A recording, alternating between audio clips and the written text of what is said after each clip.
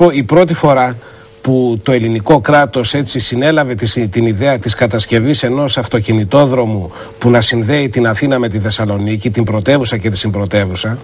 ήταν τόσο παλιά όσο το 1927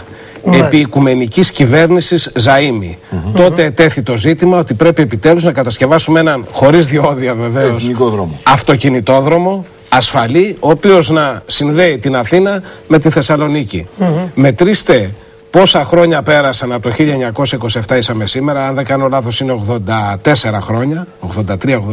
χρόνια, και το ελληνικό κράτος το ελληνικό πολιτικό σύστημα, όπως θέλετε εσείς να το πείτε, τελικά αποδείχθηκε ότι δεν μπορεί να κατασκευάσει έναν δρόμο ασφαλή και χωρίς διόδια, ελεύθερο για τους πολίτες, που να συνδέει τι, την Αθήνα με τη Θεσσαλονίκη.